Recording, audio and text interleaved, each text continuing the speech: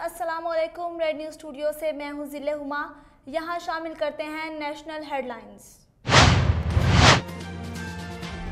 National Command and Operation Centre ने लाहौर समेत नौ इस्लामी school 11 अप्रैल तक बंद रखने का फैसला कर लिया। नामी दसवीं, ग्यारहवीं, बारहवीं जमात के इम्तहान मामूल के मुताबिक होंगे। वफाकी वज़ीर तलीम शफकत महमूद ने प्रेस कॉन्फ्रेंस में बताया कि 11 अप्रैल तक मखसूस अजला में तमाम तलीमी अदारे बंद रहेंगे। इस्लामाबाद में बीमारी का रेट हाई है, वहाँ भी 11 अप्रैल तक तलीमी अदारे बंद रहेंगे। कोरोना की जारी तीसरी लहर जिला वस्ती के सब डिवीज़न के मुख्तलिफ़ इलाकों में माइक्रो स्मार्ट लॉकडाउन नाफिज कर दिया गया। नोटिफिकेशन के मुताबिक लॉकडाउन का अनफाज तेईस मार्च से 6 अप्रैल तक होगा। Micro smart lockdown North Karachi North Nazimabad, Liaquatabad की यूसीज यूनिट्स में लगाया गया। Micro smart lockdown UCO units में लगाया गया। Micro smart lockdown district health officer की हॉटस्पॉट की निशानदाही पर लगाया गया। मुतासर इलाकों में आने और जाने वाले तमाम अफराद को मास्क पहनना लाजमी करार दिया गया। ब्राडशीट स्कैंडल रिपोर्ट वजी अजम इमरान खान को पेश कर दी गई। वजी अजम की रिपोर्ट काबीना इजलास में पेश करने की हदायत वफाकी काबीना जायजा लेकर रिपोर्ट पब्लिक करने की मंजूरी देगी। गुजशत रोज जस्टिस रिटायर्ड अजमत सईद की सरबराही में ब्रॉडशीट की तहकीकत करने वाले कमीशन ने अपनी रिपोर्ट मुकम्मल करके वजी अजम हाउस को भिजवाई थी। रिपोर्ट के मुताबिक ब्रॉडशीट कंपनी को पंद्रह लाख डॉलर की गलत अदायगी की गई।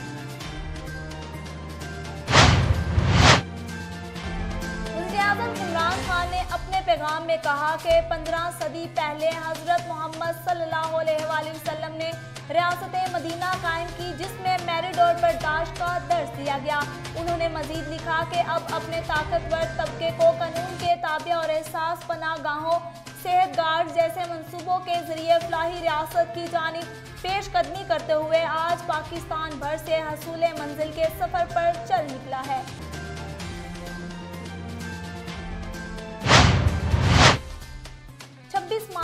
मरियम नवाज़ की तलबी नैब लाहौर प्रोसिक्यूशन विंग की हकाम को ब्रीफिंग। राय के मुताबिक तहकीकाती टीम ने मरियम नवाज़ को दो इंक्वायरीज में बयान के लिए तलब किया है। पीडीएम की जानब से नैब ऑफ़िस के मुमकिन घेराव और अमन अमान को खराब करने की पेश गोई इतलात है, नैब की तहकीकात में दांसना रुकना डालने पर 10 साल तक की सजा सुनाई जा सकती है।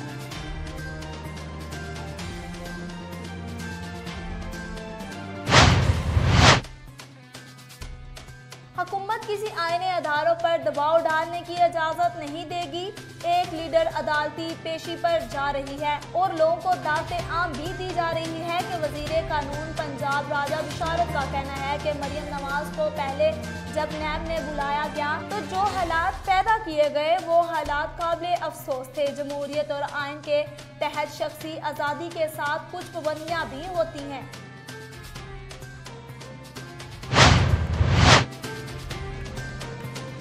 के दौर में आटा पैंतीस रुपए था। आज सत्तर रुपए किलो है। एहसन इकबाल का कहना है कि नैब करप्शन फ्री नहीं, अपोजिशन करप्शन फ्री पाकिस्तान देखना चाहता है। पीडीएम की जद्दोजहद को नुकसान पहुँचाने वालों को कौम माफ़ नहीं करेगी। लीगी रहनमा का जरदारी और बिलावल की बात का जवाब देने से इनकार। कहा, ऐसी बहस नहीं करेंगे जिससे अपोजिशन की लड़ाई और हुकूमत को फ़ायदा हो।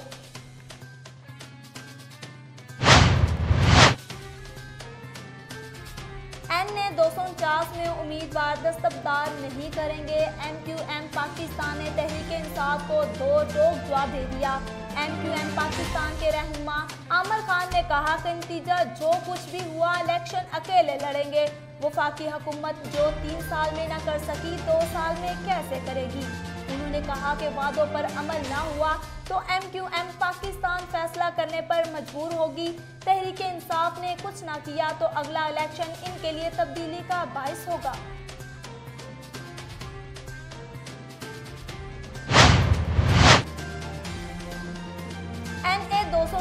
कराची जमनी इंतबात के लिए तहरीक इंसाफ में तनाज़ा बरकरार है।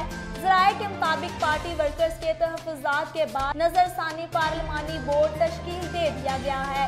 नए पार्लिमानी बोर्ड में अली जैदी, फैसल और नजीब हारून के नामों पर कारकुनान को तहफात हैं। मलिक शहजाद, अवान, अताउल्ला समेत दीगर अरकान ने मुकामी अफराद को नुमाइंदगी देने का मुतालबा कर दिया। ये भी कहा वजी अजम ने नोटिस ना लिया तो बेहतर अरकान पार्टी को खैर बात कह देंगे।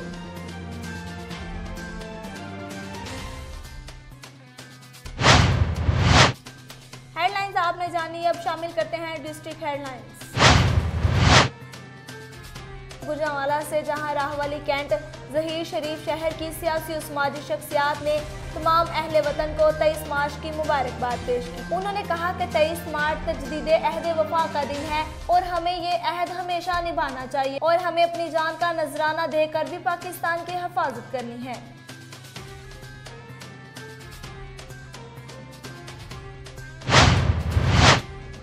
फिरोजपुर रोड मुस्तफ़ाबाद अलियानी थाना मुस्तफ़ाबाद के करीब मजदार डाला तेज रफ्तारी के बायस रिक्शे से टकरा गया।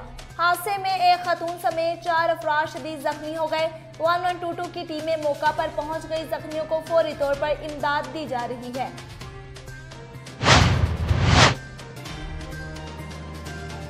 महम में सीनियर सहाफ़ी आज़ाद अनवर कांगड़ू पर झूठा मुकदमा और शरपसंदों की तरफ़ से सारे सहाफ़ियों को धमकियाँ और गाली गलोच देने के खिलाफ महड सब प्रेस क्लब के सहाफ़ियों का हंगामी इजलास।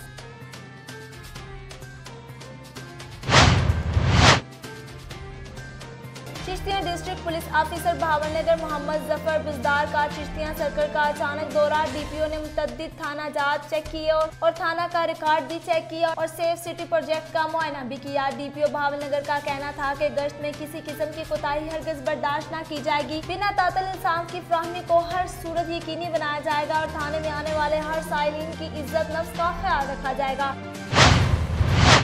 इसी के साथ वक्त हुआ एक छोटी सी कमर्शियल ब्रेक का। हमारे साथ रहेगा